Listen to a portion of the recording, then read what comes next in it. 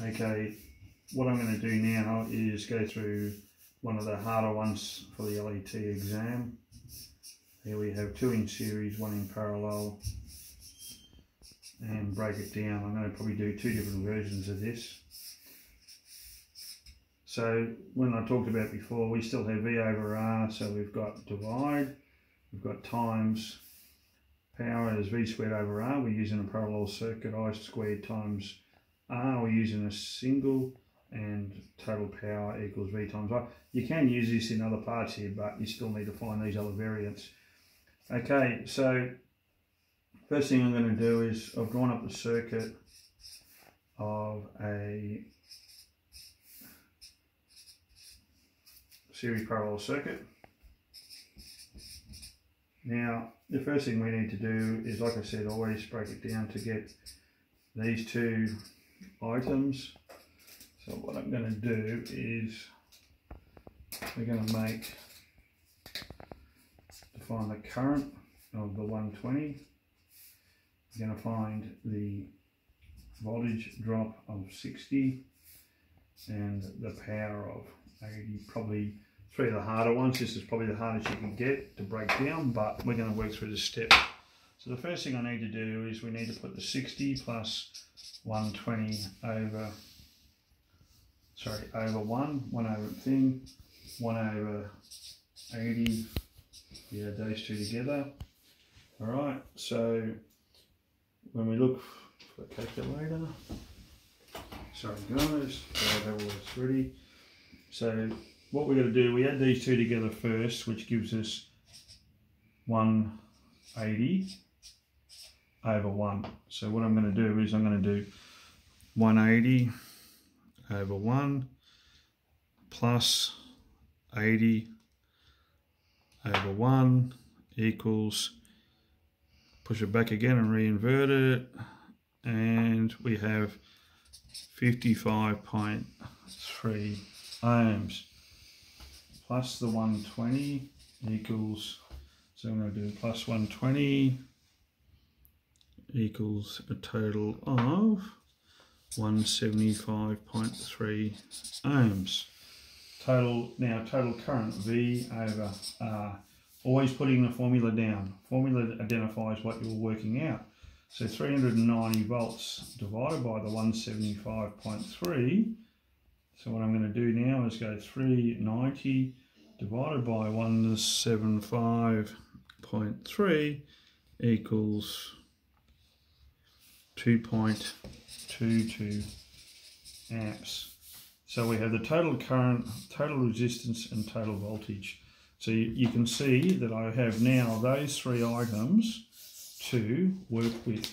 So now I need to break this down. So the three items I'm asking for. So voltage drop here, the formula for that will be V equals I times R.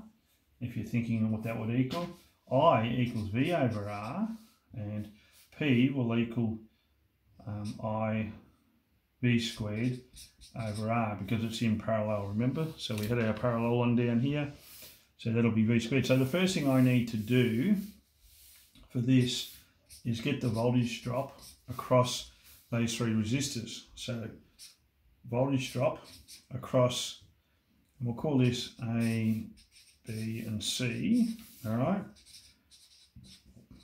is equal to I times R.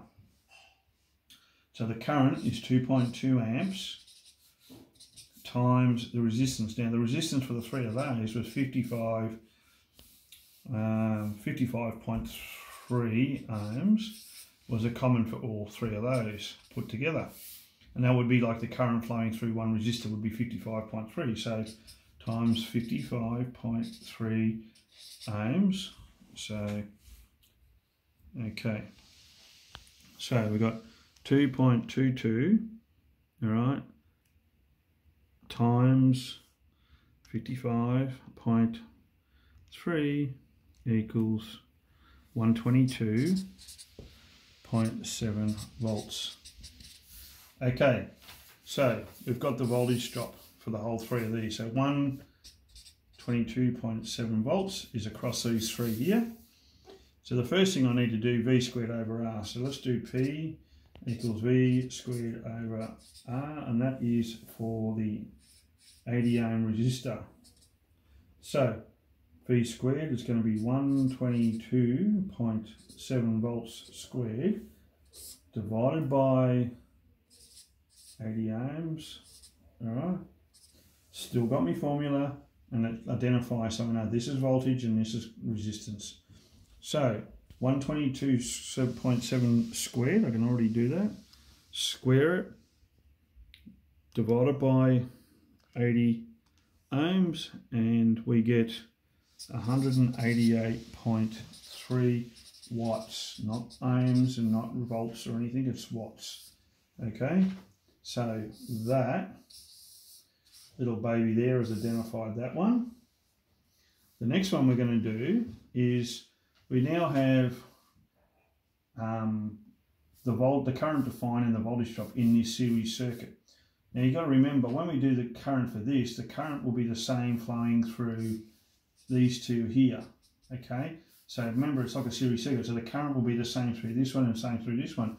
So I equals V over R. So I'm going to do the voltage drop for the two of those to combine together. So I equals V over R. Okay, so we're going to be doing it for the 120 um, plus the 60. So if we go 177, sorry, 122.7, which is what we worked out down here, 122.7 divided by the, what do we got? We got 120 plus 60 is 200. Well, sorry, 180. All right. So little, it's going to be come down to point something. So we have two, because the current down here is less. So we had 122.7 divided by 180 equals 0. So our current, I, equals 0 0.681, oh sorry, 6.8 amps.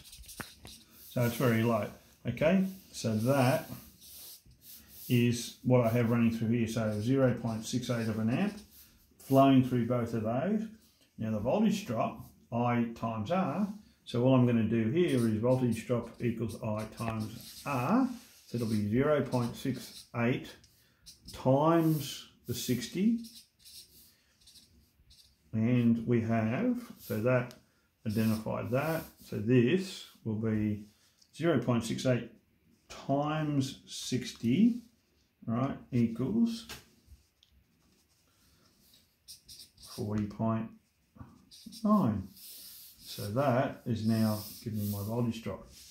So at the end of the day, you can see how I've broken things down by step by step. I use how I use the formulas. So we have that is one answer, this is the other answer, all right, and the 183 watts and that's what covered so this covered for me for me power. This is for my voltage drop across that resistor and this is what did the 120 like I said anything you can do once you have these three values here voltage current and sorry resistance and current you can break it down to do anything that you want. It's a matter of also making sure you're looking in the right order all right? I'm going to come back we're going to do one a little bit more different same type of circuit but just doing it a bit a little bit different okay